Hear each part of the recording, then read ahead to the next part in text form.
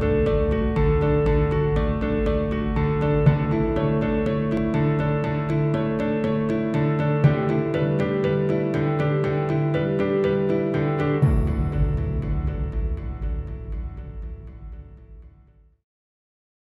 This is a, a paper with my co-author Jennifer Candipan, a graduate student in sociology. Um, we're preparing this paper for a special issue of the journal Urban Studies that's focused on the intersection between schools and neighborhoods, both in the US and uh, in international context. So if that's a research area of yours, definitely be on the lookout for that special issue. And as Gary mentioned, you know, one sort of uh, area of research that the Sol Price Center for Social Innovation focuses on is this idea of pathways to opportunity.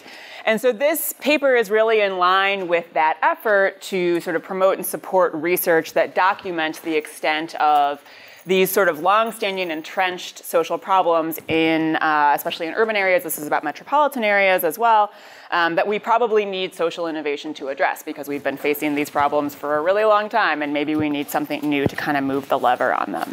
So there's a large literature on the relationship between neighborhood socioeconomic status and children's educational, occupational, health, uh, and other outcomes later in life.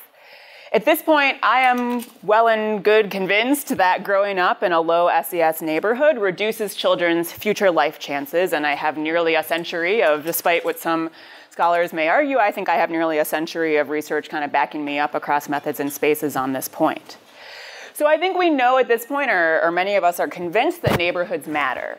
I think we have less empirical evidence demonstrating why or how neighborhoods matter um, for children's outcomes.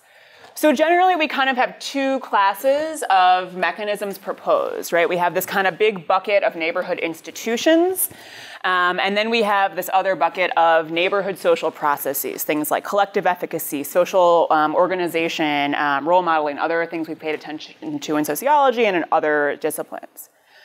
So in this paper, Jen and I are focusing on this link between neighborhood SES and one uh, neighborhood institution that we think might be particularly important for children, the local schools. So a small body of literature has tried to kind of disentangle the contribution of both school and neighborhood characteristics um, for children's outcomes. And there's some methodological challenges to this. Um, there's you know, sort of similarities between neighborhoods and schools that make it kind of hard to figure out what's contributing to what. There's selection into both contexts.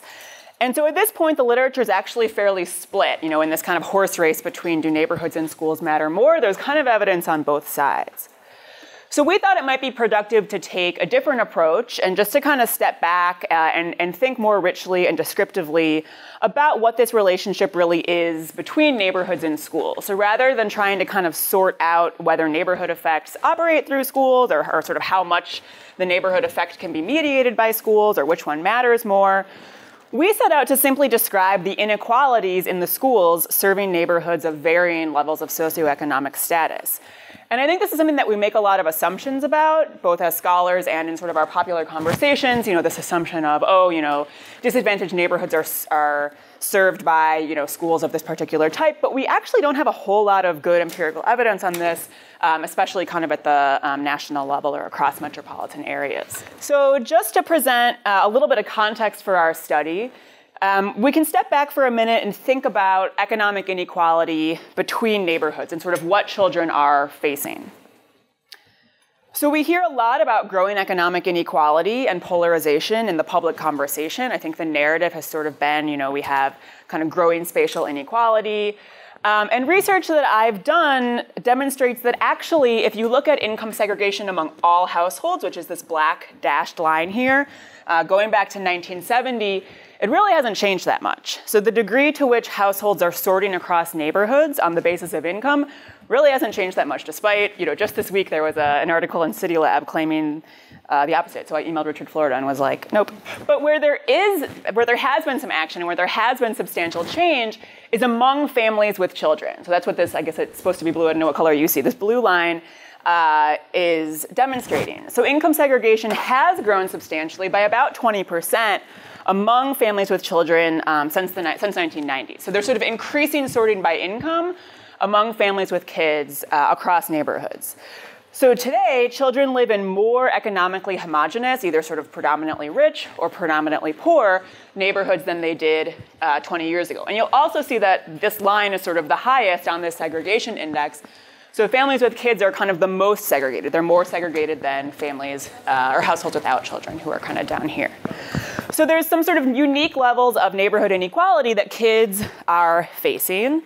Uh, so it's important to think about, you know, what are the resources available in their neighborhoods that might account for uh, the neighborhood effects we see later in life. Okay, so when you're thinking about how to classify and characterize schools, um, there's lots of different things you could think about. So in this paper, we're focusing on kind of five classes of either school inputs and outputs uh, that past research indicates affect children's outcomes. So I think, you know, since the Coleman Report uh, over 50 years ago, scholars have demonstrated that who a child attends school with shapes his or her achievement, either because of parent resources or sort of the type of resor- other resources, either teachers or money or other things that schools can sort of attract based on who attends them. So we examine racial, ethnic, poverty, and ability composition of schools. Um, second, there's you know some evidence that sort of school climate matters. Uh, we're a little bit limited in how we measure that because we focus on sort of quantitative, nationally available data. Um, so we look at things like disciplinary and attendance climate. Uh, third, we know that teachers matter. I think we don't always know how they matter, but we know they matter. So um, the specific traits are debated, and we examine a couple. So we examine student-teacher ratio, student certification, experience, and salary. Um, fourth, we look at per pupil expenditures, so sort of how much school funding matters, uh, or how, much, how unequal school funding is across schools serving high and low income neighborhoods. And then finally, we look at um, the achievement and uh, achievement growth in schools serving high and low income neighborhoods. So I'll discuss how we measured each of these um, shortly. And again, our investigation was sort of limited by kind of readily available quantitative data, so we're definitely not capturing kind of more process or interaction um, driven school characteristics. And let me also be clear that these are not necessarily objective measures of school quality, especially the composition thing. Um, it's, it's uh, you know, there's little agreement on sort of how we should be measuring any sort of school quality anyway. So instead, we're just trying to present sort of the social, context and the resource context present in schools that are serving high and low income neighborhoods. Okay, so our goal uh, is to describe the schools serving high and low income neighborhoods. So our first task is we have to figure out and we have to link um, neighborhoods to the schools that serve them.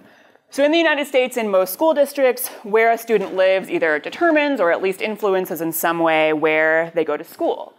Um, even with the advent of school choice and charter schools and magnet schools and things like that, neighborhoods typically have a kind of default local school, either administratively or just in the choice set of parents. Many parents at least check out the neighborhood school and prefer to keep their kid close, right? So um, I can talk about some of the challenges of thinking about kind of open enrollment and those things given this data set. Um, but we're thinking about sort of the local neighborhood as the zoned, the school that's zoned to that neighborhood because it represents what's available. You know, if you weren't exercising any sort of choice options, like this is where your kid uh, would end up going. So we're documenting sort of the available resources to people in higher low income areas. So we're defining neighborhoods as census tracts, and then to link schools and tracts, use a crosswalk that Jen created between um, school attendance boundaries and tracts. So Jen started with the School Attendance Boundary Survey data, SABS, uh, and this provides sort of shape files, polygons of school attendance zones in the United States in 2013 and 14. And then using geospatial techniques, she took this extremely messy, crazy, giant, insane data set uh, and made a very nice, neat crosswalk for us to work with that links census geographies to the school attendance zones. So just to show you what I'm talking about here, so this is um, a map of the school attendance zone of my neighborhood in downtown LA. Uh, so the blue boundaries are uh, denoting school attendance zones for elementary schools, and this kind of I don't know how you, if you can see this, but this one that I've kind of darkened the uh, uh darkened the boundary of that happens to be the one around my apartment, um, which is irrelevant to me because I don't send children there, but just as, a, as an illustrative point. Um, and then these black polygons are census tracts, right? So sometimes you have tracts like these ones that are completely within school attendance boundaries, so that's very easy to know what school is serving that neighborhood. But oftentimes you have, you know, tracts like this that kind of span uh, across different school attendance zones. Um, so Jen used blocks, which are sort of this very tiny level of census geography and are generally not split by school attendance zones. Uh, and was able to sort of create a crosswalk that linked every tract in the United States to the school or schools, in the case of a tract like this, that are serving it. Uh, and we sort of created weights based on the um, uh, proportion of the population uh, in each school attendance zone, um, sort of serving each part of the tract. So uh, we can make Jen tell us more technical details later, but this is sort of what we did. So, all that to say, we ultimately end up for every tract, for every neighborhood in the United States, we sort of know, you know, what proportion of that tract is in each school attendance zone. Each school attendance zone is linked to a school, um, and then we, I'll tell you where we get information about the schools. So we're focusing on elementary schools. Our crosswalk is for schools serving fourth grade, and we're focusing on non-charter, non-magnet, sort of you know local public schools. Um, the SABS data set is not uh, doesn't cover the whole United States. Um, about 17% of tracts, I think, were not linked uh, in 2013-14. So we're presenting results for sort of all the data we have, uh, which includes at least one tract in almost all of our metropolitan areas in the United States and on average, about 84% of tracts are covered in each metro. So again, you know, for every tract, we know something about the school or schools that serve it. Uh, so for a tract like this, its neighborhood characteristics are going to come both from you know this school and from the school over here, and sort of we weight that according to the population proportions served by each place. Okay, so then we identify, we have to identify sort of high and low socioeconomic status neighborhoods. Uh, so we end up using just the median household income in the tract. We tried poverty rate. We did a sort of more complex neighborhood disadvantage score. It all basically comes out the same. So um, for sort of ease of interpretation and links to later analyses for income segregation, we just look at the median household income in every neighborhood, and then we look at their larger metropolitan area and just cut the neighborhoods into quintiles. So we kind of have higher and lower SES neighborhoods in each place. So then after, so I'm going to go through and sort of show you what the schools look like in sort of higher or lower income neighborhoods. And then we look to see if income segregation between tracts sort of exacerbates the inequalities that I'm about to show you. Um, so when metropolitan areas are sort of highly segregated, our highest income tracts are like really homogeneously high income, and our low, uh, lowest income tracts are sort of really homogeneously low income. And we might expect, you know, any sort of uh, decision making or resource allocation to be sort of more unequal between these neighborhoods. So if we think there's some link between neighborhood income and what the schools look like, schools are going to be sort of even more unequal in more segregated places. So we measure income segregation using something called the rank order information theory index, which tells us sort of how evenly sorted across neighborhoods families of different incomes are. And we simply classify metropolitan areas sort of then by their level of segregation. So we'll just kind of think about, I'm going to show you results for sort of the highest and the lowest segregated metro. So you don't have to worry about the details. If you are worried and interested in the details of measuring income segregation, uh, I'll do a plug for a recent paper I wrote with Sean Reardon, Kendra Bischoff, and Joe Townsend that just came out in Demography that walks through a method for estimating segregation and how to deal with potential bias. And most importantly, it comes with a very easy Stata package that you can just use and your life will be very easy. For the measures of income segregation, we use every tract. So we don't we aren't limited by the what's in the SAB or not. We sort of just ignore that and just get a metropolitan area measure of segregation. But yeah, the bias that we're talking about in that paper deals with because all these data are based on samples, that could bias some, some things, and we kind of deal with that. So I apply our great method here, and we have no worries, and everything's everything's perfect. Um, okay, so we know what schools serve each neighborhood. We've classified schools by neighborhood income, and now we need to measure what the schools look like. So we draw on three different data sets: the Common Core of data, the Office of Civil Rights data, and the EdFacts data, all in 2013-14.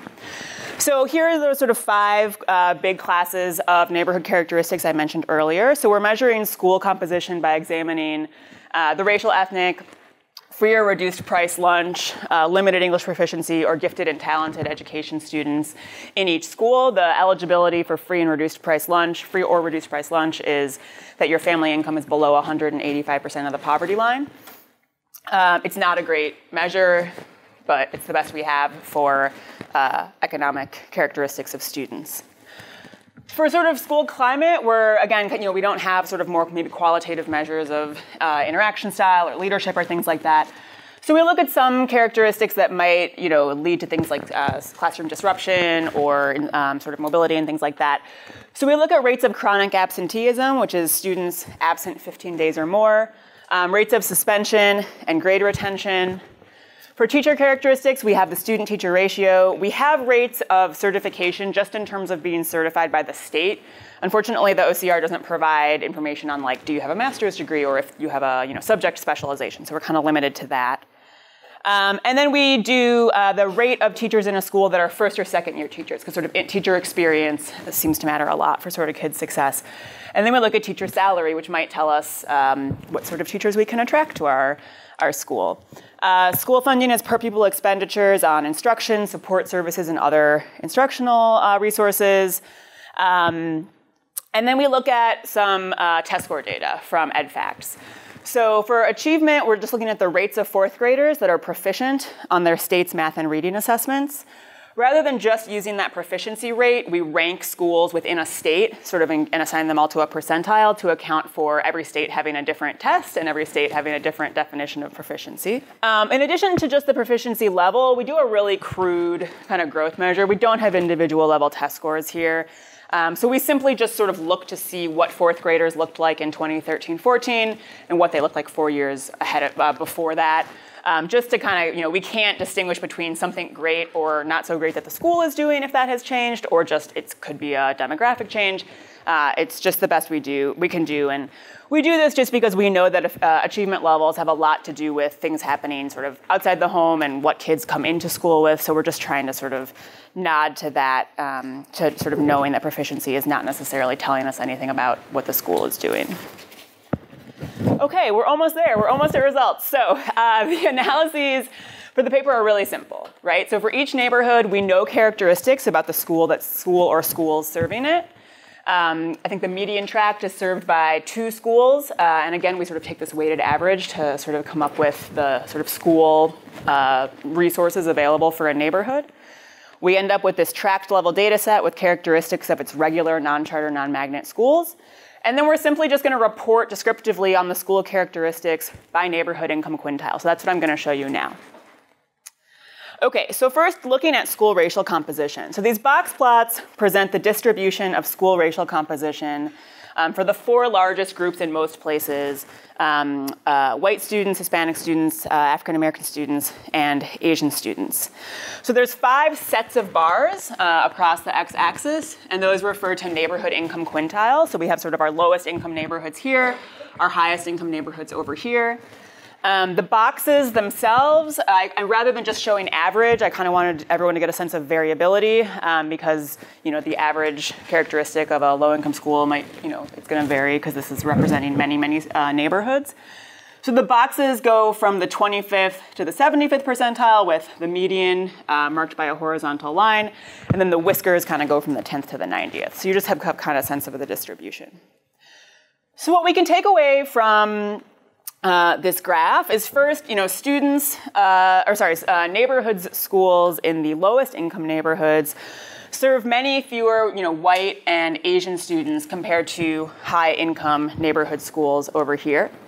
So, you know, 75% of schools in the highest income quintile are served by, if we sort of look at the racial composition proportion here, these are sort of all majority white schools. So, you know, three quarters of uh, high income neighborhoods are sort of served by uh, majority white schools, and you have kind of the opposite story um, for low income neighborhoods with larger proportions of Hispanic and African American students. And again, this isn't telling us anything um, about school quality, but we know that racial inequality and structural racism exists throughout our society. And so if we think that there you know, are different levels of resources and attention given to schools serving different types of students, this is sort of magnifying and, and highlighting uh, inequalities across neighborhoods um, of different income levels. Moving to uh, other compositional measures, this tells us uh, same setup with sort of five neighborhood income quintiles across the x-axis. The gray box is telling us about our free and reduced price lunch composition. The sort of gold-ish box is telling us about uh, limited English proficiency rate. And then the green box is telling us about uh, the gifted and talented rate. Um, and so we see kind of similar inequalities here, right? So we're, you know, we're, all my pictures are going to look like mountains, right? We sort of see this gradient down from the lowest to the highest income neighborhoods. So, you know, it's not surprising that schools serving the lowest income neighborhoods have really high free and reduced price lunch rates. Um, but I think this just magnifies the difference. So the average uh, free and reduced price lunch rate in schools serving low income neighborhoods is 78% compared to 30% for high income neighborhoods. About nationally, about half of public school kids are eligible for free and reduced price lunch for reference. And we sort of see these similar, you know, kind of downhill, uh, downhill slope for limited English proficiency. So um, school, low-income neighborhood schools are serving many more ling- limited English proficiency schools compared to high-income neighborhoods. There's not a whole lot of action with the gifted and talented. I think you know we, we don't take gifted and talented as any necessarily measure of actual ability. It, it's a lot about you know parents making phone calls to get their precious darlings in, right? But we do see, you know, I think I'm sure my mom did that for me. But um, we see, you know, higher rates uh, in sort of our higher income schools. So again, it's not you know surprising that economically disadvantaged neighborhoods serve uh, student bodies that are also uh, economically disadvantaged. But if we think that this sort of matters um, for children's outcomes, which past research has shown, uh, then it's you know it's potentially troubling. It kind of highlights um, unequal access to educational opportunities in high and low income neighborhoods. Um, you know, attending school with many disadvantaged peers can potentially exacerbate the different challenges that students might be facing at home uh, and in their neighborhood. So moving on to um, uh, climate and teacher traits, again, we kind of see these gradients where uh, high-income neighborhood schools are more uh, advantaged, have more resources than low-income neighborhood schools. Um, Student-teacher ratios aren't shown here because they were actually almost identical uh, across neighborhoods. So one, one piece of uh, equality news, I guess, but we'll talk about if that actually means equality when we get to funding. Uh, the left side of the picture shows the results for the discipline and attendance features. Uh, the gray bars are showing us the percent of students that are chronically absent. The green bars are showing us the percent of students that have had a suspension, and then the sort of darker green bars are showing us retention. And remember, this is for fourth graders. So in the in neighborhoods uh, serving low in sorry in schools serving low income neighborhoods, you know, 5% of fourth graders are getting suspended. I, you know, I haven't been around a lot of fourth graders, but, um, you know, they're not that bad. I don't know. Um, so it's, it's potentially tr- troubling, right? We sort of see um, higher rates of chronic absenteeism, higher rates of suspension, higher rates of grade retention across, um, across neighborhoods. And so our data can't distinguish between differences in student behavior, except, you know, uh, I guess chronic absenteeism reflects student behavior, although of course we don't know why those absences are occurring and what other family and neighborhood factors are playing in there. Um, we can't, you know, we don't know whether students are behaving differently in schools serving different neighborhoods or whether they're being treated differently. Um, and we do have um, literature, you know, demonstrating the sort of racialized disciplinary practices where socially disadvantaged students um, tend to be sort of disciplined more harshly than other students. So we can't distinguish that here, but again, sort of these spatial inequalities across neighborhoods of different income levels. Over here, the sort of light gray bars are showing us the percent of teachers that are not certified by the state. So thankfully, this is low in sort of um, all neighborhoods, but again, we still see that little downward slope where uh, we see sort of higher rates of non-certified teachers um, in schools serving the lowest income neighborhoods.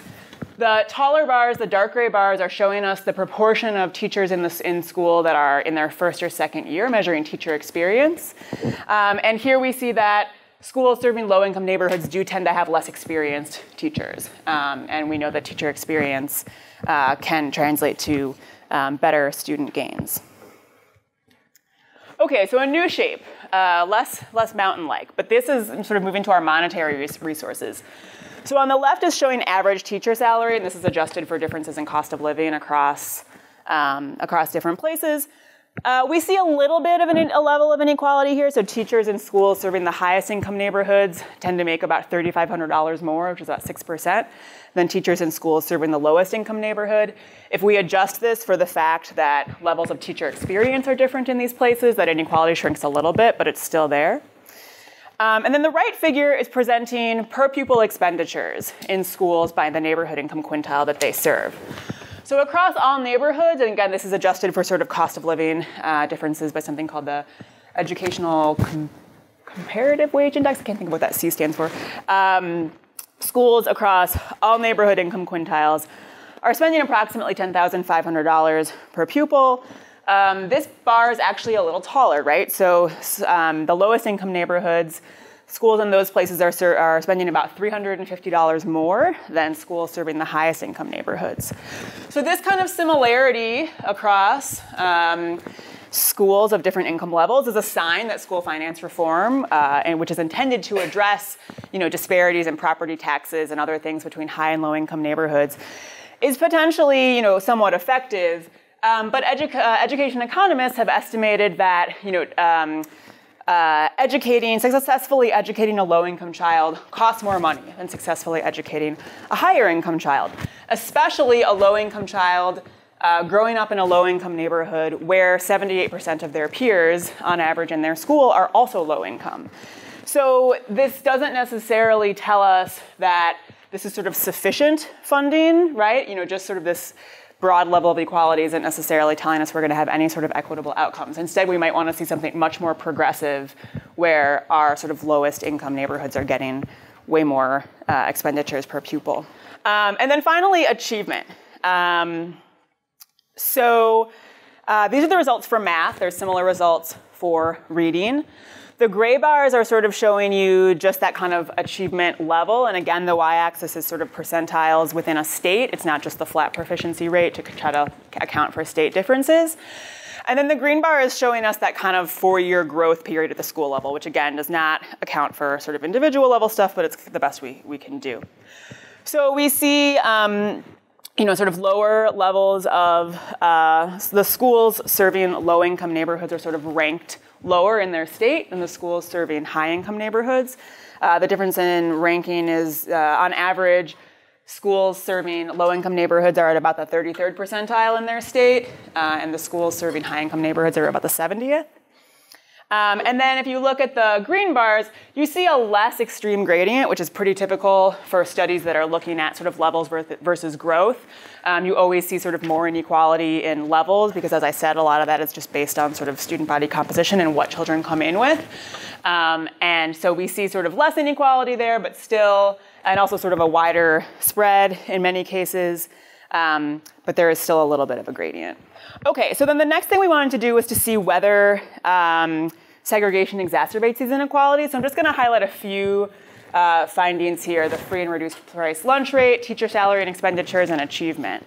And again, the idea here is that um, if you're in sort of the lowest quintile, uh, lowest income quintile neighborhood, in a fairly integrated place, you know, your neighborhood is going to be sort of more mixed or middle income than it's going to be in a very segregated place where it's going to be sort of predominantly uh, low income and lower income. So we might, and same thing, sort of conversely with the high income neighborhoods. So we might expect some of those mountains to be steeper in the sort of most segregated compared to the least segregated metropolitan areas. And that is in fact what we see. So this is comparing sort of the same, you know, five, we're used to our sort of five quintiles of neighborhoods. And here I just have two versions of it. This is for sort of the most integrated places, metropolitan areas, metropolitan, but metropolitan areas in the lowest quintile of segregation. And then this is in sort of the most segregated places. Um, and so, you know, just looking at it, you can see that the free and reduced price lunch composition definitely still is unequal here, but, you know, the gaps aren't huge. It's, you know, maybe 42 to 68%. I don't have that quite written down here. Whereas here, it's super steep. So um, the sort of most, uh, the lowest income neighborhoods in the most segregated places have uh, free and reduced price lunches of uh, free and reduced price lunch rates of 84%. Uh, compared to only, I think, 27 uh, down in the highest income neighborhoods. So we sort of see that how segregation exacerbates these inequalities. And also important to note here that it's, um, inequality is never, uh, or I think we often need to pay more attention to what's going on at the top when we talk about inequality at the top of the income distribution. It isn't just a story about disadvantage. You know, if you kind of drew a line here, the sort of outlier would be uh, the high income neighborhoods, right? So a lot of this is about how high income neighborhoods are sort of hoarding resources and creating really exclusive, really advantaged um, enclaves, uh, which is important when we think about policy solutions and sort of, you know, what people are and aren't willing to kind of um, uh, do and, and, give up in term for the for the sake of equality. You know, these are the lowest in, these are in the lowest quintile for their metro. Um, but in more integrated metros, those places are probably going to have slightly higher incomes, or at least at least be more mixed income than in the really segregated places. So it's not necessarily the same average per se. That would just depend on the metro. But the idea is that in the more segregated metropolitan areas, when you cut neighborhoods into five groups, you know, they're going to look a lot more polarized than if you cut neighborhoods into five groups in more integrated places. So then moving to teacher salary and per pupil expenditures, we have that same setup of sort of the most integrated metros, the most segregated metros, and then sort of what the different quintiles of neighborhoods look like. And so they don't look all that different from each other, right? These, you know, there's sort of maybe a little bit more compensatory spending here uh, in the most segregated places. So there's not a huge, drastic um, level of uh, inequality here. Um, but again, you know, if we think that um, you know, educating uh, children in sort of neighborhoods and schools of concentrated poverty is going to require more resources than educating kids in really affluent enclaves, right? We would want these, especially in the most segregated areas, we would want sort of much more compensatory, well, I would want, I don't know what you want, but I would want sort of much more uh, sort of compensatory spending uh, in those places. And you could also imagine, you know, incentives for very highly qualified teachers and things like that. Some of that's going to come through salary uh, as well. There's some evidence that when you pay teachers more, they do produce um, maybe better outcomes. So again, you know, at, first glance, it's like, well, maybe this isn't a terrible news story because the bars all look pretty much the same. But when we think about the different levels of inequality across these places, we we may not want them to look the same. We may want them to sort of uh, reflect more progressive uh, policies. And then finally here, the achievement gap. So here the light gray uh, is the math, the dark gray is um, the reading. Uh, and again, we see sort of this you know, steeper gradient in the more segregated places in terms of both uh, achievement um, and our um, growth measures. So um, again, we just sort of see, and also I should also say that, again, the gradient is a little bit flatter in the growth measures and the achievement measures, just like before. Okay, so we've thrown a bunch of stuff at you, but I think overall what we're trying to do with this paper is uh, to demonstrate the level of inequality between neighborhoods and the types of schools uh, available to them. So as measured by composition, climate, teacher characteristics, expenditures, and achievement and growth, you know, in almost sort of uh, all of these factors, you know, we see inequalities between schools serving high and low income neighborhoods. And many of these inequalities are exacerbated by income segregation between neighborhoods. As I was just talking about, one area where there's perhaps less inequality than often thought is the financial resources. But again, for sort of equality of outcomes, we might hope not for sort of equity there, but for very progressively distributed resources. And unfortunately, that's not where policy is moving. So in the past couple decades, our school finance reforms have really sort of focused on providing um, adequacy rather than sort of aiming for equity. So trying to provide sort of an adequate level uh, of spending for uh, districts serving the lowest income students rather than trying to think about what would that district need to sort of be equal to very, very high income districts. Um, so unfortunately, with our current um, policy priorities, it's not necessarily where we're headed. So in this paper, we really just kind of set out to provide this portrait of the link between uh, neighborhood income and school resources, which is again this kind of potential mechanism for why neighborhoods matter for kids.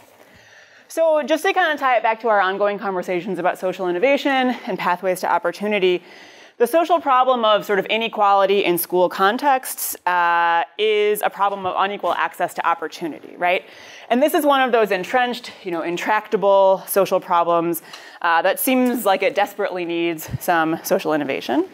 Um, and you know, reducing these these are sort of the I think you know things we try we've often thought about. You know, how can we promote neighborhood integration? How can we promote um, school uh, integration, especially uh, or along both sort of racial, ethnic, and economic lines. Um, how do we, you know, sort of in the meantime, or as a complement to, how do we promote sort of comp- compensatory or progressive school resources for schools serving more disadvantaged populations?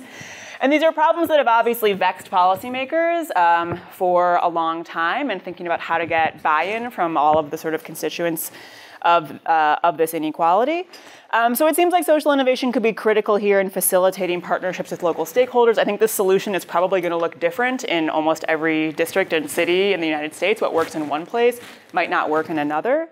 Um, so just to highlight a, you know, a few things that are going on, I've been involved in helping the National Housing Trust evaluate a pilot program where they're purposely putting low-income housing in more high-quality school districts to try to provide opportunity for uh, families to access these opportunities. There's also emergent partnerships around the country of sort of local districts that are neighboring, partnering with one another to try to facilitate transfers across district lines, because often the district is sort of the place where the most inequality is kind of taking place. Um, but these are all really challenging. And in response to anytime you move someone or you reassign them to a school, you know, that sort of sets off a chain reaction where uh, inequality is often just sort of reproduced later on. Um, so today I focused on identifying, you know, the challenges in these pathways to opportunity.